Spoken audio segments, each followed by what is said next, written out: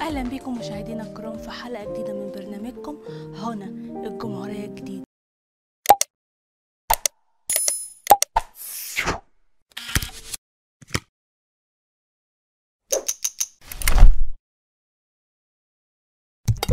قرار مفاجئ من قناة النهار بوقف برنامج الجمهورية الجديدة. وأحالت الإعلامية منى العمدة وفريق العمل والمسؤولين عن البرنامج للتحقيق الفوري. قناة النهار قالت في بيان ليها إنها رصدت بعض الأخطاء والتجاوز في واحدة من حلقات البرنامج الأخيرة وقررت وقف البرنامج لحد ما ترجعه للمسار الصحيح أو تلغيه بشكل نهائي.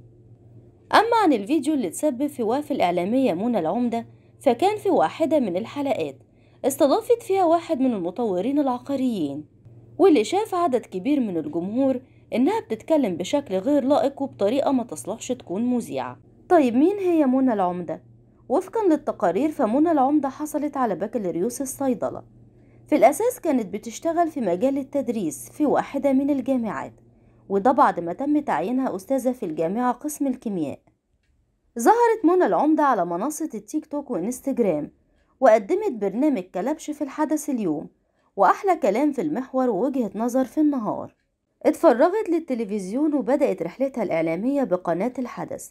ثم المحور ثم النهار. شاركت في مسلسل بيت الشدة واللي كانت أول تجربة فنية ليها. وفي بيان النهار قالت فيه إن القناة بتؤكد حرصها الدائم على تقديم محتوى وأداء مهني يليق بمشاهديها. وفقا لما تقر أخلاقيات العمل المهني والأكواد المنظمة للعمل الإعلامي.